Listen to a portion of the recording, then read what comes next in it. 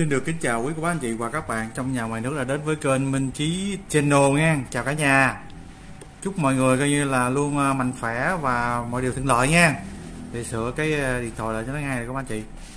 Cái máy này cái máy à, nó cũng đỡ đỡ hơn máy kia, máy kia livestream bị rè của bác anh chị la quá. Thì hôm nay là coi như chúng ta sẽ tiếp tục trò chuyện cái câu chuyện liên quan đến drama và nhân vật chúng ta trò chuyện hôm nay đó là nhân vật tan tan tan tan tàn ca sĩ lầu xanh. Ờ, người này thì ai cũng biết rồi có anh chị nổi tiếng trên cộng đồng mạng rồi. Ha.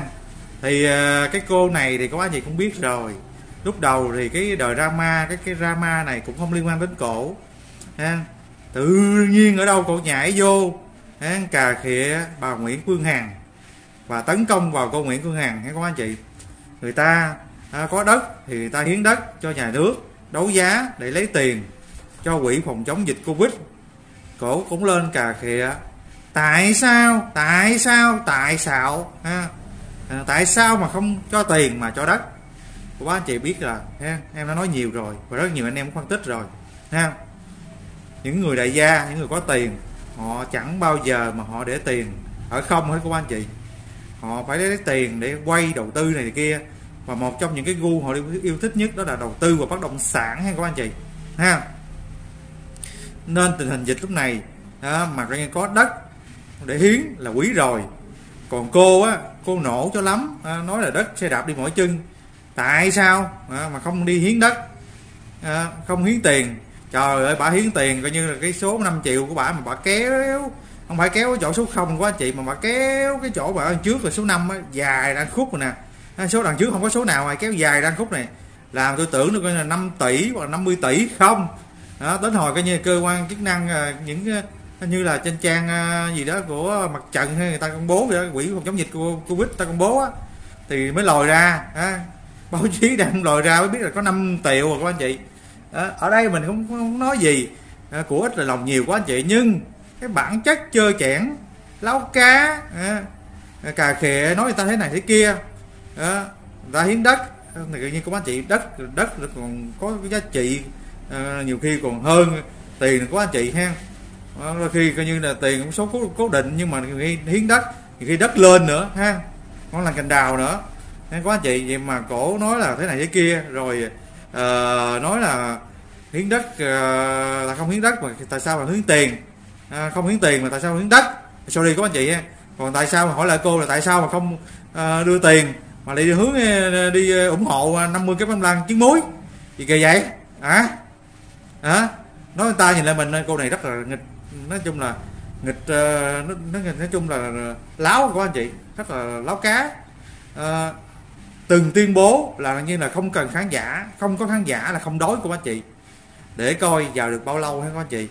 À, người ta nói có đức mặc sức mà ăn này không có đức không có tài nữa. Thì coi là được bao nhiêu lâu ha? À, ông trời cho được thì ông lấy là được các anh chị. À, ngạo mạn. Bây giờ ai cũng biết rồi ha. tự nhiên cái là lên nổi tiếng trên cộng đồng mạng. À, ẻ thê ẻ mướn gì đó. À, nói nói nó nó đẻ mướn mà nó ẻ thê là coi như là là, là, là kiện đó nha. À, kiện đó nha. Thì liên quan đến vụ kiện của bác chị cũng biết rồi ha. Kiện trời đất quỷ thần ơi.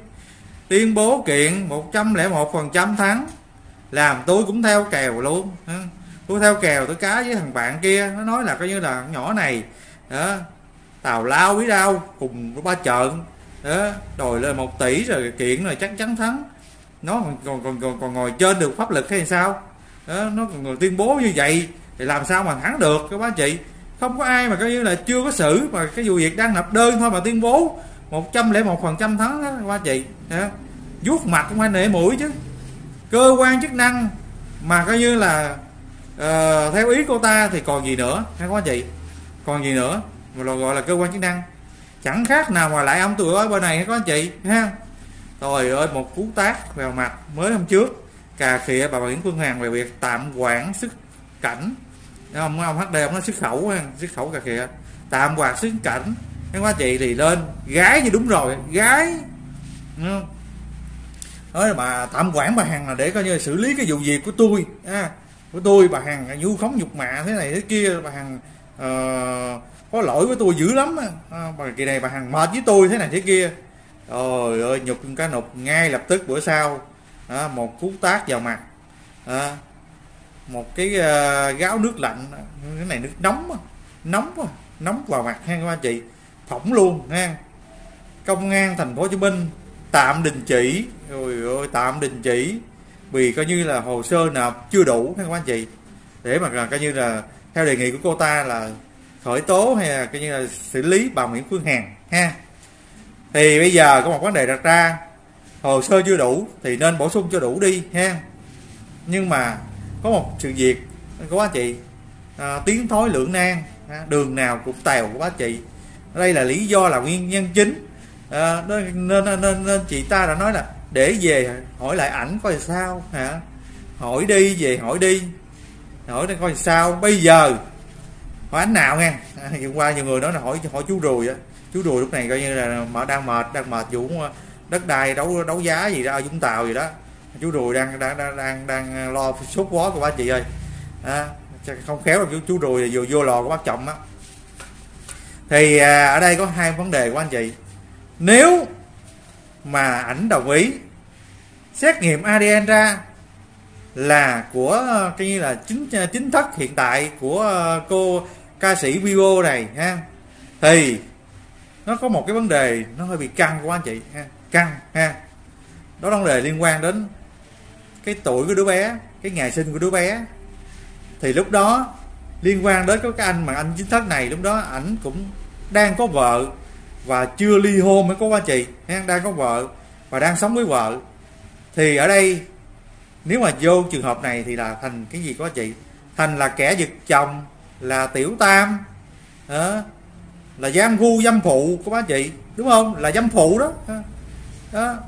Ôi đất ơi nếu mà đường này cũng ngon à rồi tự tự tự sẽ khai ra là mình là giam phụ luôn ha. Giam phu giam phụ ông bà ta xưa nói đó đó tại có chồng à, tại, tại người ta có vợ mà nhảy vô, chia rẽ gia đình người ta.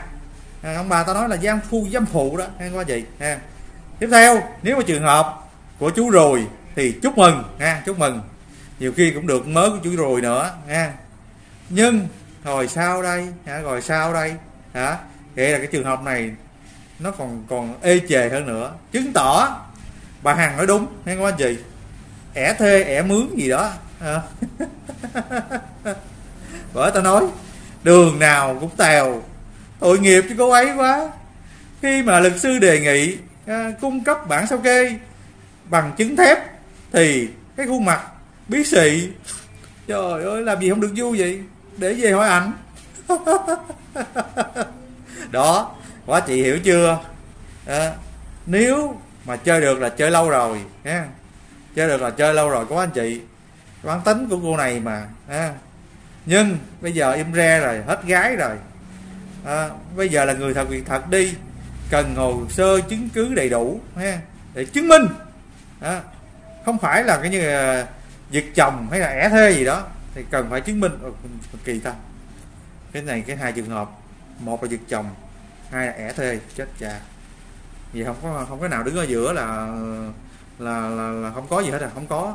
Tại vì nếu mà trường hợp của chính ông chính này thì giật chồng còn nếu mà trường hợp của chú rùi thì ẻ thê. Trời đất ơi có trường hợp mà coi như là cả hai không?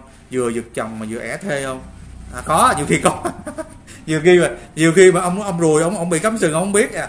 Ông, ông tưởng đâu coi như là uh, tiền cái gì? Uh, gì? Giống như là tiền nhiều mà tưởng đâu hít của thơm đó. Nhưng mà thua là chú rùi ơi chú rùi mua hớ rồi hớ rồi chú rùi ơi. Nghe nói là coi nghe cũng có một người đã từng qua tay ở bình thuận rồi ha. Chú rùi bởi vậy chú rùi già cái đầu mà không biết cái nhìn hàng vậy đó. Tội nghiệp chú rùi ghê. Mà nói chú rùi là coi như là, là, là, là ở nhà đó thì cũng đang yếu thế của anh chị. Mấy cô con gái cũng đang đang cầm quyền nắm quyền. À, mấy mấy cô con gái đó không vừa đâu. Nếu mà coi như là nếu mà vừa là cái đây trước đây là coi như cho cô ta là nhập chính thất rồi à, hoặc là ờ, phi tần gì đó. Hoặc là coi như là nhận cái, cái thằng à, nhóc đó là của ba anh chị ha nên coi như là đụng đừng đụng vào ha đừng đụng vào. Không có cửa đâu ha nhục như con cá nục. Đó ba chị. Đó. lý do đó lý do đó lý do rõ ràng rồi đó. Không thể nào giống như thầy cố nội vậy đó. Tiếng thối lưỡng nan. Trời ơi đây là nguyên nhân chính chứ đâu nữa. Trời ơi bởi vậy đừng thấy hoa nở mà cứ ngỡ xưng về. Chỉ giảng dơ giá dễ dàng gì giấu giếm. Rồi em xin dừng video đây. Có anh chị có ý kiến gì thì comment bình luận phía dưới đôi nha. Cảm ơn các anh chị rất là nhiều. Các anh chị nhớ comment like để tăng đề xuất đề xuất tương tác của video các anh chị. Và các anh chị nhớ ủng hộ kênh bằng cách đăng ký kênh để ủng hộ em. À, chúc mọi người tối nay ngủ ngon nha. Và xin hẹn gặp lại ở những video lần sau. Bye bye.